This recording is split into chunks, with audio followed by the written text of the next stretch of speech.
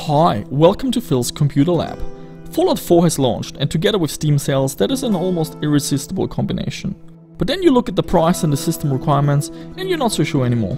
Instead, let's go back in time.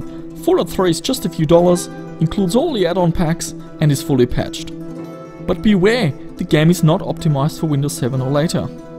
Therefore, we are going to build a Fallout 3 retro gaming PC for maximum performance and compatibility. Enjoy this video.